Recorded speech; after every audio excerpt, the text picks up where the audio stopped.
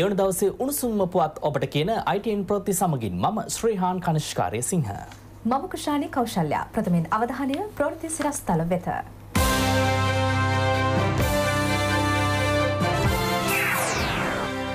රැකයා විරහිත උපාධිධාරයෙන් හාරදහස් එකසිය දෙනෙකුට පත්වීම්. ජනාධිපති සිහිනය පැරදිල ගෙදරයන්න නැතුව ඉස්සල්ලාම මන්ත්‍රී වෙන්න හැදුව. ඊට පස්සේ අගමැති වෙන්න හැදුව. ඊට පස්ස විපක්ෂනායක වෙන්න හදනවා. දැන් ආයිමත් ජනාධිපති වෙන්න සිහින දකිනවා. පොහොට්ටුවෙන් කඩවුණු පොරොන්දු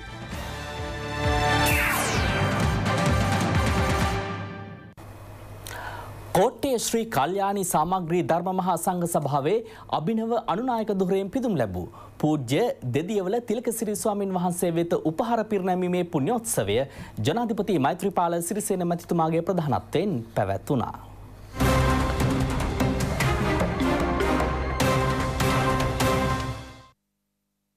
විහාරස්ථානය වෙතගේ ජනාධිපතිතුමා පළමුුව ආගමික වතාවත්වල නිරතව ආශිර්වාද ලබා ගත්තා. විහාරස්ථානයේ අභිනව ධර්මශාලා මන්දිරය සංඝ සතුකොට පූජා කිරීම සිදු වූයේද ජනාධිපතිතුමා අතින්.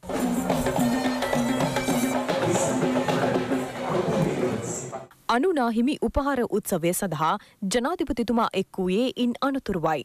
දෙදියවල තිලක සිරි ස්වාමින් වහන්සේ වෙත මෙහිදී විජිනිපත පිළිගැන්වීම ජනාධිපතිතුමා අතින් සිදු කෙරුණා. දෙදියවල තිලකසිරි අනුනායක සමරු කලාපය ජනාධිපතිතුමා වෙත පිළිගැන්වූයේ සම්මානිත මහාචාර්ය RMW රාජපක්ෂ මහතායි. මල්වතු පාර්ශවයේ අනුනායක පූජ්‍ය නියංගොඩ විජිතසිරි කෝට්ටේ ශ්‍රී කල්යාණි සාමග්‍රී ධර්ම මහා සංඝ සභාවේ අනුනායක මහාචාර්ය පූජ්‍ය කොටපිටියේ රාහුල යන ස්වාමින් වහන්සේ ප්‍රමුඛ මහා සංඝරත්නයද මැති ඇමතිවරුන් ඇතුළු විශාල පිරිසක් මෙම උත්සවයට එක්ව සිටියා.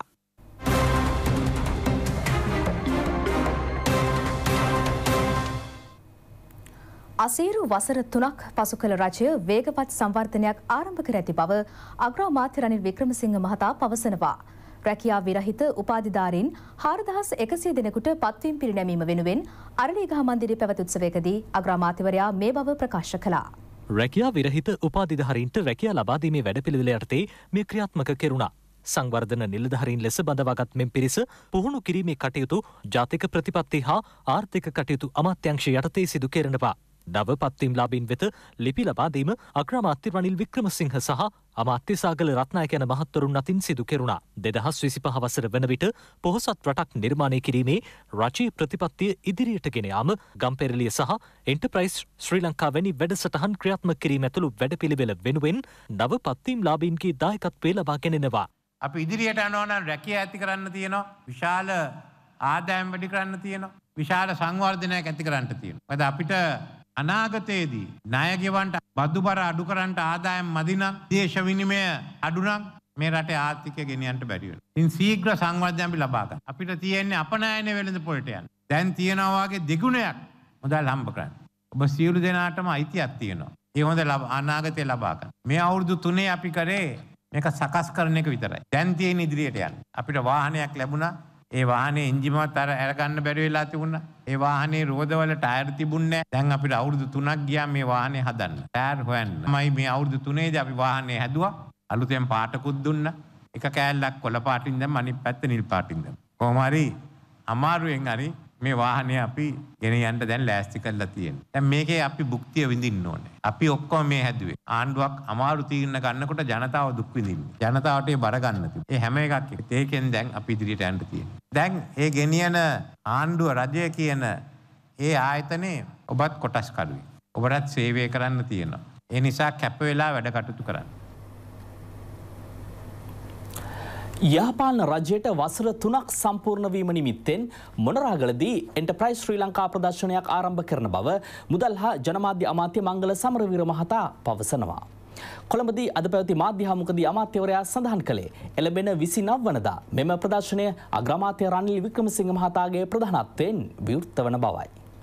එක පැත්තකින් මොන්රාගල ලංකාවේ වඩා දිලිඳු දිස්ත්‍රික්කයක් අනි පැත්තෙන් මහා වීරයන් බිහිකරපු දිස්ත්‍රික්කයක්. අනේ නිසා තමයි මේ මොන්රාගල දිස්ත්‍රික්කේ තේමා බවට පත් කල්ලා තියෙන්නේ දේශප්‍රේමී කැරැල්ලෙන් සංවර්ධන සංග්‍රාමයට කිය. සංවර්ධනය වෙනුවෙන් කරන යුද්ධය අපි ආරම්භ කරන්නෙත් මොන්රාගල. අපි එතනින් පටන් ගන්නවා ඊළඟට තව මාස තුනකින් අපි අනුරාධපුරයට යනවා ඊට පස්සේ තවත් මාස තුනකින් අපි යාපනයට යනවා. ඒ පළමුවෙනි පියවර තමයි මේ ගම්පෙරලිය උත්සවය ප්‍රදර්ශන කුටි පන්සිය පහළවක් පෞද්ගලිකාංශයේ හා රාජ්‍යංශයේ ප්‍රදර්ශකයන් දෙසිය හතරක් සහිත දැවන්ත අධ්‍යාපන කලාපයක් තියෙනවා. විවසායකයන් දිරිගන්වන විෂන් විස්සයි විසි පහ මත පදනම් වූ ප්‍රදර්ශන ගොඩක් තියෙනවා. මේක දවස් තුනකට තමයි අපි සංවිධාන කරලා තියෙන්නේ. මම සන්තෝෂ වෙනවා වත්මන් රජයේ පතිකරු ජනාධිපතිතුමත් ගරුවගමැතිතුමත් මුදල් නැමතුමත් ඒ වෙල්ලස්ස ගොඩ ගන්න රජයේ ශීඝ්‍ර සංවර්ධන වැඩපිළිවෙල වෙන ගම්පෙරළිය සහ එන්ටර්ප්‍රයිස් ශ්‍රී ලංකා වැඩපිළිවෙල මොනරාගල දිස්ත්‍රික්කයෙන් ආරම්භ කළා. දිස්ත්‍රික්කයේ වැව්වමුන් ටික, පාරවල් ටික, පාසල් ටික, අනිකුත් සියලුම ජලය ටික ලබා දෙන වැඩපිළිවෙලක්. බලාපොරොත්තු වෙන අපේ කුඩා විවසායකින් අපි කෘෂිකර්මාන්තයේ පෙරදරි කරගෙන ජීවත් වෙන ප්‍රදේශයක් මේ බැංකු පද්ධතිය තුල ණය ලබා ගැනීමේ තියෙන අපහසුතාවය දුරු කරලා සාමාන්‍ය ජනතාවට සාමාන්‍ය විවසායකයට කොහොමද ණයක් ලබා ගන්න කියන නිවැරදි ක්‍රමවේදය අනුගමනය කරයි කියලා මම විශ්වාස කරනවා. හිටපු ජනාධිපති පාර්ලිමේන්තු මන්ත්‍රී මහින්ද රාජපක්ෂ මහතා යළි ජනාධිපතිවරණයකට ඉදිරිපත්වීම පිළිබඳවද මෙහිදී මාධ්‍යවේදීන් අමාත්‍යවරයාගෙන් විමසා සිටියා. අපි දන්න විවස්ථාව අනුව නම් ඒක බැහැ. ඔය ඉතින් මගේ පරණ මිත්‍රයා මහින්ද රාජපක්ෂ ඔය වගේ දේවල් කර කර චූන් වෙවි ඉන්නවා.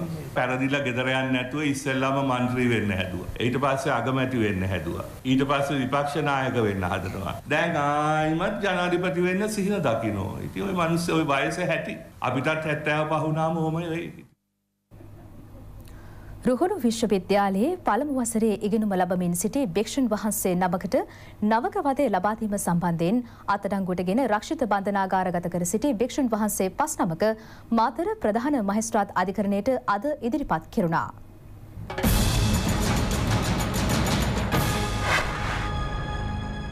අත්අඩංගුවට ගත් භික්ෂූන් වහන්සේ පස් නම එම විශ්වවිද්‍යාලයේ දෙවන වසරේ ඉගෙනුම ලබනවා. එම භික්ෂූන් වහන්සේ පස් නම නොවැම්බර් මස තුන්වනදා දක්වා යළි රක්ෂිත බන්ධනාගාරගත කරන ලෙසයි මාතර ප්‍රධාන මහේස්ත්‍රාත් පවිත්‍රා සංජීවනී පතිරණ මහත්මිය නියෝග කළේ. ජූලි මස දහ අටවනදා රාත්‍රයේදී මෙම නවක වද සිද්ධිය සිදු වී තිබෙනවා. නවක වදයට ලක් වූ භික්‍ෂූන් වහන්සේ සිය උසස් අධ්‍යාපන කටයුතුද නවතා දමා ඇති බවයි මාතර පොලිසිය සඳහන් කළේ. සැකකාර භික්‍ෂූන් වහන්සේ පස් නම නවක වද පනත යටතෙයි අත්තඩංකොටගෙන ඇත්තේ. වැලිගම ගුරුබැවිල ප්‍රදේශයේ හෝටලයක තිබී රිවෝල් වරයක් හා මිලිමීටර් නවය වර්ගේ පිස්තෝලයක් සමග ජීව උන්ඩ හතක් සොයා ගැනීමට පොලිසිය සමත් වනා. එම හෝටලෙන් වෙඩි හඬවල් කිහිපයක් ඇසනු බවට පොලිස් හදිසි ඇමතුම් අංකයට ඊයේ රාත්‍රයේ ලැබුණු දුරකථන ඇමතුමක් මතයි මෙම සෝදිසි කිරීම සිදු වුණේ. එම හෝටලේ හිමිකරු සහ ඔහුගේ මිතුරන් කිහිප දෙනෙකු මත්පැන් සාදයක් පවත්වා ඇති අතර විනෝදය සඳහා තුවක්කුව මගින් අහසට වෙඩි තබා ඇති බව හෙළි වුණා. සිද්ධිය සම්බන්ධයෙන් හෝටලේ හිමිකරු ඇතුළු හය දෙනෙකු අත්තරංගුට ගත් බවයි වැලිකම පොලිසිය සඳහන් කළේ. සැකකරුවන් මාතර මහිස්ත්‍රාත් අධිකරණයට ඉදිරිපත් කිරීමට නියමිතයි. මාතර නගරේදී පසුගිය ජුනි මස විසි දෙවනදා ස්වර්ණාභරණ අලවිසලක් කොල්ල කෑමේ සිද්ධියට අදාළ නඩුව අද යළි කැඳවුවා.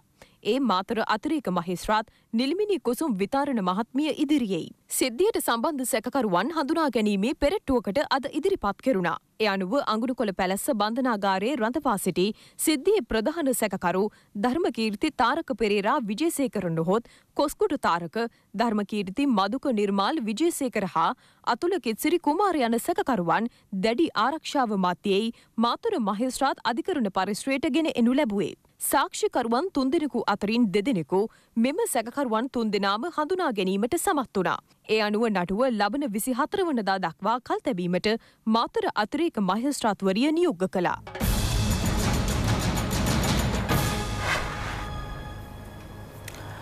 යාන් ඔය ජලාශයේ ඉදිකිරීම හේතුවෙන් ඉඩම් සහ නිවාසහානි වූ ජනතාව යළි පදිංචි කිරීමේ කටයුතු අවසන් කර ඇති බව රජය පවසනවා. වම් ඉවර යටතේ මල්පෝරුව කජුවත්ත සහ දකුණු ඉවර ව්‍යාපෘති යටතේ ඩීහය ඕමාරකඩ යන ගම්මානවලයි ජනතාව පදිංචි කර ඇත්තේ.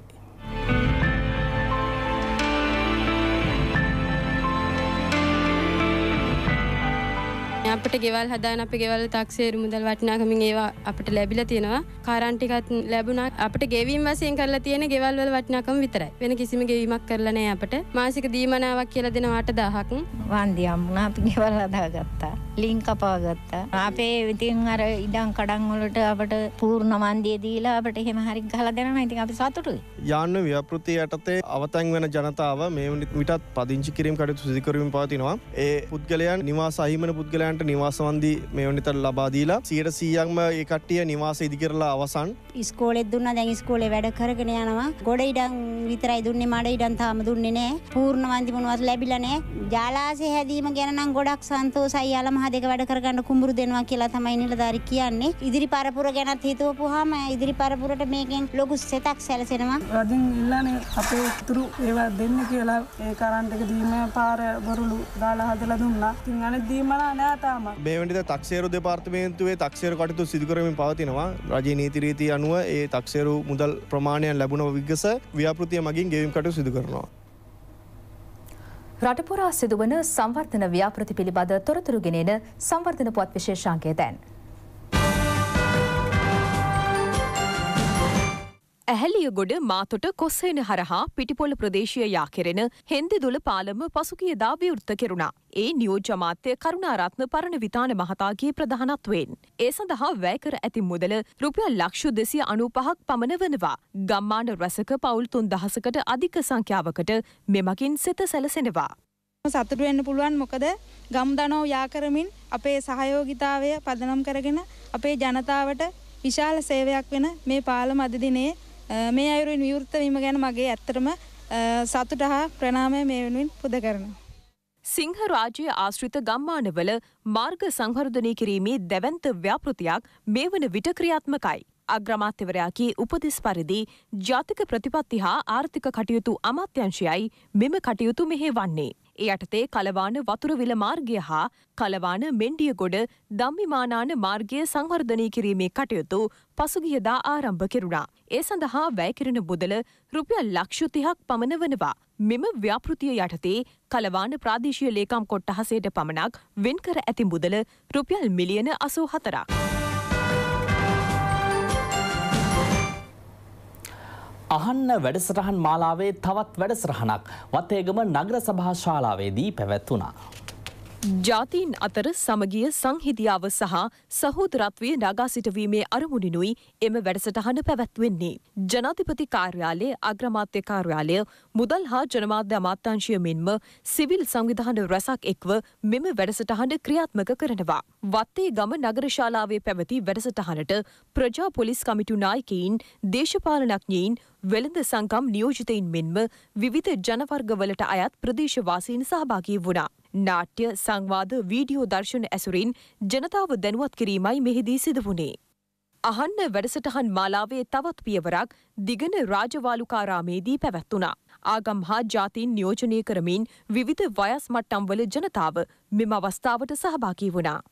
මේ වගේ ප්‍රෝග්‍රම එකක් තියෙන හැමෝටම බලාගන්න ඕන දෙයක්. ජීවිතයට හරිද තේරගන්නත් ජාතිවාදයේ මතවාදයේ කුලවේදයේ නැතුව සමාජයෙන් එක්ක පිරිසක් වෙන්නද ඉතා හොඳ ප්‍රෝග්‍රම එකක් කියලා තියෙනවා. මගේ ප්‍රෝග්‍රම්මයක් ගොඩක් මිනිසුන්ට වටිනවා. එකින් මිනිසුන්ගේ හිත්වල් එකට බැඳිලා ඉතින් තවත් හොඳ සාමයක් උදා වෙනවා. බොහොම හොඳ ප්‍රෝග්‍රෑම් එකක් අපිට හරි සතුටුයි මෙතන වෙනවා කතා කරා වගේම තව දිගටත් වෙන්න ඕනි කියලා මම ප්‍රාර්ථනා කරනවා. ජාතික සමගිය හා සංහිධයා කාර්යංශයේ අනුග්‍රහයෙන් ප්‍රචාරය කෙරෙන ගුවන්විදුලි නාට්‍යමාලාව සම්බන්ධයෙන් පළවන සාවත්‍ය ප්‍රවෘත්ති වාර්තා පිළිබඳ එම කාර්යංශය පැහැදිලි කිරීමක් සිදු කර තිබෙනවා. හිටපු ජනාධිපති චන්ද්‍රිකා කුමාරතුංග මහත්මියගේ සභහපතිත්වෙන් ක්‍රියාත්මක වන ජාතික සමගිය හා සංහිධයා කාර්යංශය බුදුදහමට නිගා කලායයි ප්‍රචාරය වන සාවද්‍යපුවත් වාර්තා සහ නොදනුවත්කමින් සිදුකර ඇති ප්‍රකාශ පිළිබඳ සිය අවධානය යොමු වී ඇතැයි එම කාර්යංශය නිවේදනය කරනවා. සම්මානනීය ගුවන් විදුලි නාට්‍ය අධ්‍යක්ෂවරයෙකු වන මාලක දේවප්‍රිය මහතා රචනා කර අධ්‍යක්ෂණය කර ඇති නාට්‍ය මාලාවක් රේඩියෝ කතා නමින් රාජ්‍ය ගුවන් විදුලි නාලිකාවක් වන ITN FM හි සෑම සෙනසුරාදා දිනකම රාත්‍රී නවේ සිට දහයතෙක් විකාශය වෙමින් පවතිනවා. මෙම ගුවන් විදුලි නාට්‍ය මාලාවේ තිරපිටපත හා එහි අන්තර්ගතය සමාජයට අවශ්‍ය බොහෝ දෑ ගැන විචාරශීලීව සහ ප්‍රායෝගික ලෙසින් කතිකාවකට භාජනය කරන බැවින් ඒ සඳහා අනුග්‍රහය දැක්වීමටයි කාර්යංශය එකඟතාව පළ කළේ. බුදුදහමේ හරය හා වටිනාකම් විකෘති වන ආකාරයේ කිසිදු ක්‍රියාවක් අනුමත කිරීමට තරම් වගකිව යුතු රාජ්‍ය ආයතනයක් ලෙස තමන් කටයුතු නොකරන බවද ජාතික සමගිය හා සංහිදියා කාර්යංශය අවධාරණය කරනවා. ප්‍රජාතන්ත්‍රවාදය සංවර්ධනය හා ජාතික එකමුතුව ගොඩනගමින් බුදුදහමට ව්‍යවස්ථානුකූලව හිමි ප්‍රමුඛස්ථානය ලබා දෙමින් කටයුතු කරන අවස්ථාවකදී එක්තරා මාධ්‍ය ආයතනයක් තම පෞද්ගලික දේශපාලන ඌමනා වෙනුවෙන් සාවද්‍ය පුවත් ප්‍රචාරය කරන බවයි එම කාර්යංශය පෙන්වා දෙන්නේ. පිළිගත් ජනමාධ්‍ය ආචාර ධර්ම අනුව සිද්ධිය පිළිබඳ කාර්යංශයෙන් පැහැදිලි කර ගැනීමක් හෝ සිදු නොකර පූජ්‍ය පක්ෂය හා පොදු ජනතාව නොමගයවීමේ අරමුණින් මෙම ප්‍රචාර සිදු කර ඇති බවයි ජාතික සමගිය හා සංහිදයා කාර්යංශය නිකුත් කළ නිවේදනයෙන් පෙන්වා දෙන්නේ. මෙරට ප්‍රවීණ කලාකරුවන් රැසක් සම්බන්ධ වන මෙම නාට්‍ය මාලාවට සවන්දී ඒ පිළිබඳ සාමකාමී හරවත් සංවාදයකට ඕනෑම කෙනෙකු හා සම්බන්ධවීමට එම කාර්යංශය සූදානම් බවද එහි වැඩිදුරටත් සඳහන්. නාට්‍ය මාලාවේ ඇතැම් කතාංගවල නාමයන් ශබ්දාර්ථයෙන් වෙනත් යෙදුම් සමග සමපාතවන බව කිසිවෙකුට හෝ හැඟින්නේ නම් ඒ පිළිබඳ බලවත් කනගාටුව ප්‍රකාශ කරන බව ජාතික සමගිය හා සංහිදයා කාර්යංශය පවසනවා. මෙම අසත්‍ය ප්‍රචාර සම්බන්ධයෙන් මුදල් හා ජනමාධ්‍ය අමාත්‍ය මංගල සමරවීර මහතාද මෙසේ අදහස් පළ කළා. දේශපාලනය කරන හාමුදුරුවන් ගැන කියන ඒවා නම් මම වැඩිය ගණන් ගන්නෑ. අපේ ආණ්ඩුව තමයි බෞද්ධාගමට සම්පූර්ණ නියමාකාර තැන දීලා තියෙන්නේ. සැබෑ බෞද්ධයන් හැටියට අපි කලකිරීමට පත් වෙනවා සමහරු චීවරධාරීන් බෞද්ධාගම තමන්ගේ පෞද්ගලික උමනාවන් සඳහා විකෘති කිරීම ගැන. මේ උරමෙන් පසු අපි යළිත් හමුවමු. තම ගැටලු විසඳුන බවට පොරොන්දු වී ප්‍රාදේශය සභාවල බලය ලබාගත් ශ්‍රී ලංකා පොදුජන පෙරමුණ. එම පොරොන්දු කිසිවක් ඉටු කර නැති බවට ජනතාව චෝදනා කරනවා. හක්මන ප්‍රාදේශ සභාව මගින් එකතු කරන කැලිකසල උඩුපිල්ල ගොඩ බටහිර ගම්මානයට බැහැර කිරීම හේතුවෙන් එම ජනතාව දැඩි පීඩාවට පත්ව සිටිනවා. මෙවර ප්‍රාදේශ සභා මැතිවරණයේදී ශ්‍රී ලංකා පොදුජන පෙරමුණ පොරොන්දු වූයේ මෙම ස්ථානයෙන් අදාළ කැලිකසල ඉවත් කරන බවයි. එහෙත් එම පොරොන්දු ඉටු නොකලා පමණක් නොව ඔවුන්ද මෙම ස්ථානයට කැලිකසල ගෙනවිත් දැමීම හේතුවෙන් තමන් දැඩි දුෂ්කරතාවට පත්ව සිටින බව උඩුපිල්ල ගොඩ ප්‍රදේශවාසීන් පවසනවා. චන්දකාල කිව්ව අපිට මේ ඉන්න බැරිය කුණු දාන හින්දා කියලා. ඒගොල්ලෝ කිව්ව ඉතින් පස්සේ අපි ආම බලමුයි කියලා. දැන් ඉතින් කොහොමවත් විසඳුමක් මොකක්වත් නැහැ. ප්‍රාදේශ සභාවට කිව්වට වැඩක් වෙන්නේ නැහැ මේක. හැස්සොන්ගෙන් සෑහෙන්න කරදරයි කෑම්බීම් ටික වියල පිළිල කරගන්න විදිහක් නැහැ. ඡන්දෙ ගන්න කලින් ඇවිල්ලා කිව්ව මේකල දෙනවයි කියලා දැන් වගක් නැහැ. ඉතින් ඡන්දය අරගෙන පාලකයෝ පත් වෙලා ඉන්නවා. සාමාන්‍ය ජනතාව තමයි මේකෙන් ඉතින් දුක් විඳින්නේ. මේ අතර කඹුරුපිටිය ප්‍රාදේශ සභාව යටතේ පාලනය කෙරෙන මාර්ග සංවර්ධනය නොකිරීම හේතුවෙන් තමන් දැඩි පීඩාවට පත්ව සිටින බව එම ජනතාව පවසනවා. ලේනබටුවේ සිට ගතාර දක්වා ලේනබටුව වැව මාර්ගය සංවර්ධනය කර දෙන බව පවසමින් ශ්‍රී ලංකා පොදුජන පෙරමුණු සාමාජිකයින් ඡන්දය ලබාගත්තද එය ඡන්ද පොරොන්දුවක් පමණක්ම වූ බවයි ජනතාව කියා සිටින්නේ. පළාත් පාලන ආයතනය මැතිවරණ වෙලාවෙදිත් පොරොන්දු විදියට ලබා දීලා තියෙනවා අපේක්ෂකයෝ මේ පාර සංවර්ධනය කරලා දෙනවයි කියලා. නමුත් ඒක මේ වෙනකොට ක්‍රියාත්මක වෙලා නැහැ. බාගට කුමරි කොල්ල තෑ තියෙන මඩවලේ ටීවී එකක් තියා පයින් වච්චන්න බෑ පාරේ. හැමදාම එනවා ඡන්ද ගන්න ඡන්ද ගන්න විතරයි එන්නේ. ඡන්ද ගත්ත පස්සේ නික ගමේ මිනිස්සු බලන්නවත් එන්නේ නැහැ. ප්‍රාදේශ සභාවට කියලා තියෙනවා. කිසි කෙනෙක් නැහැ හදන්නගේ එකේ ඉන්නේ. පාස් සභාව වෙලාවෙත් ඇවිල්ලා ප්‍රධානම පොරොන්දුනේ මේ පාර හදලා දෙන්නම් කියලා තාම කිසිම තීරණයක් ඇවිල්ලා නැහැ.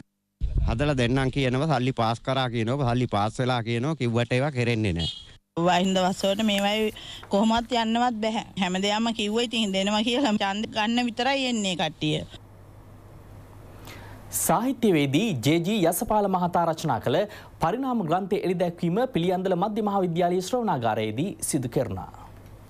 දෙනියාය මොරවක් කෝරලේ ගැමි ජීවිතය පදනම් කර ගනිමිනුයි මෙම කෘතිය රචනා වී ඇත්තේ. ජේජී යසපාල මහතා විශ්‍රාමලත් විදුහල්පතිවරයෙකු වන අතර පුරා විද්‍යාව පිළිබඳ ප්‍රාමාණික දැනුමක් ඇති විද්වතෙකුද වනවා. උත්සවයේ ප්‍රධාන ආරාධිත දේශනය සිදු කළේ මහාචාර්ය වෝල්ට මාරසිංහ මහතායි. පාර්ලිමේන්තු මන්ත්‍රී සුනිල් හඳුන්නිත්ති මහතාද මෙහිදී අදහස් දැක්වුවා. අද ඉතින් ඒ ගෙදරයි මේ ගෙදරයි කියලා කොයි ගෙදරත් හෑන්ඩ් ෆෝන් එක තියෙනවා ඇප් එක දාගත්තා නැත්නම් අපි බැලුවා. අද සිංහල අවුරුද්ද වෙනකොට අපි ගමට ගියොත් එහෙම අපට අඳුර ගන්න බෑ ගමේ ඉන්නේ කවුද කියලා. නමුත් ඒක හොඳයි. ගමෙන් විශාල පිරිසක් නගරයට ඇවිල්ලා තියෙනවා. විශාල පිරිසක් ඉගෙනගෙන තියෙනවා. විශාල පිරිසක් ගම්වල ව්‍යාපාර නගරේ ආරම්භ කරලා තියෙනවා. අද ගම සහ නගරය අතර තියෙන ඒ තාක්ෂණික බාධාවල් නැති කරලා තියෙනවා. ඒක ගොඩාක් තුරන් කරලා තියෙනවා. ඒක නිසා අර එක කාලෙක ගමේ ගෙඩියක් කඩාගන්න මිනිහෙක් වෙන්නේ කියලා වෙන් කරපු මිනිස්සු ටික අද නගරයට ඇවිල්ලා තියෙනවා. මමත් එහෙම කෙනෙක්. යසපාල මහත්තයත් එහෙම කෙනෙක්. දැන් ව්‍යාපාරික පුවත්.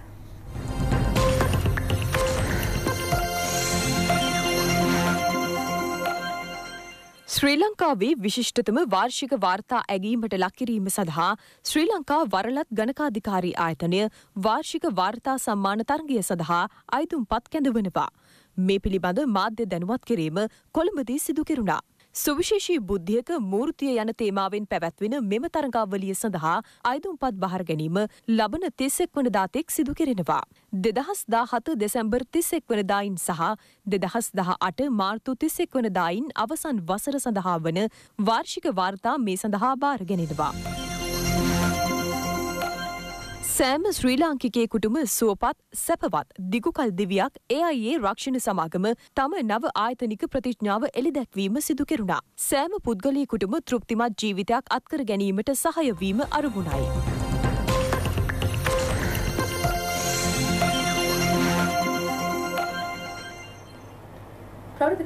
අතුරුව තත්පරික සැසූ විශේෂාන්ගේ බලාපොරොත්තු වන්න. ඔබට සුභරාත්‍රයක්. www.ipnnews.lk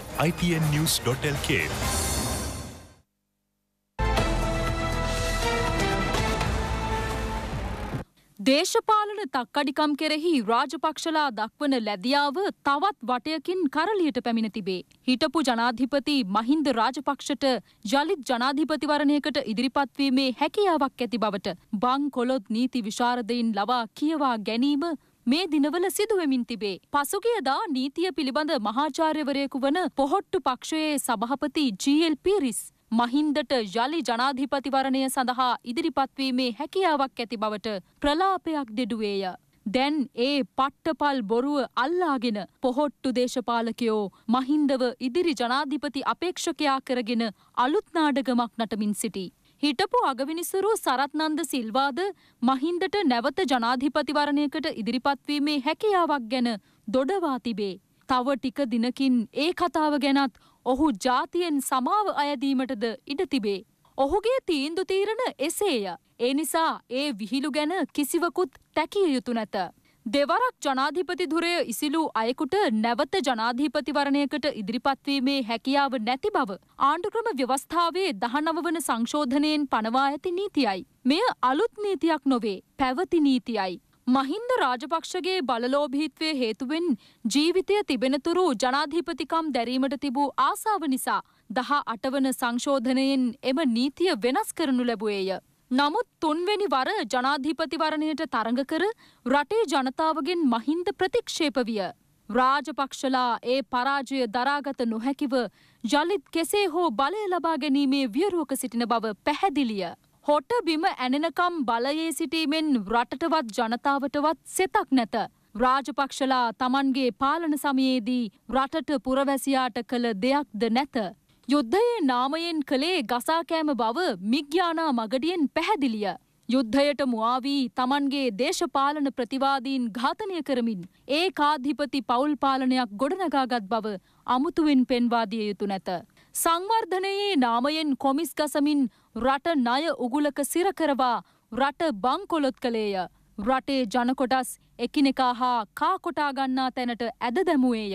මානව අයිතිවාසිකම් මුලිනුපුටා දමමින් ගෝත්‍රික පාලනයක් ගෙන ගියේය. මේ මහින්ද රාජපක්ෂ පාලනය යළි රටට අවශ්‍ය වන්නේ රාජපක්ෂලාගේ කටුලෙවකෑ ගොබිලන්ට මිස ශිෂ්ඨ සම්පන්න මිනිසුන්ට නොවේ. හතරවෙනි වරටත් බලය ඉල්ලා කෑමොරගෑම තමන්ගේ පවුලේ බඩගෝස්තරය පුරවා ගැනීමේ මලපෙරේතකම මිස වෙන එකක් නොවේ. අද රාජපක්ෂ පවුලේ සහ ඒ හෙංචයියන්ට එරෙහිව තිබෙන අපරාධ නඩු එකින් එක අවසන් තීන්දුව දක්වා ඇදමින් රාජපක්ෂලාගේ මජර කෙලි හෙළිදරව්වෙමින් තිබෙන විට රටේ ජනමතය වෙනතකට යොමු කිරීම විනා රාජපක්ෂලාට මේ මොහොතේ වෙන ගැලවිජ්ජාවක්ද නොමැත. මහින්දට ආයේ පුළුවන් කියාගෙන ව්‍යාජ මතයක් ගොඩනැගීම පිටුපස ඇති අනෙක් කතාව එයයි. මහින්දට යළිත් කිසිවක් කළ නොහැක. ඔහුගේ ගමනක අවසානය දෙදහස් පහළව වසරේ ජනවාරි අටවෙනිදා සලකුණු කර අවසන්ය. බලය අහිමිවීමේ වේදනාවෙන් කරන නන්දඩවිල්ලකට වඩා මහින්දට පුළුවන් කියන කතාවේ වෙන තේරුමක් නැත. දැනට මේ ඇති. සෙස්ස පස්සට.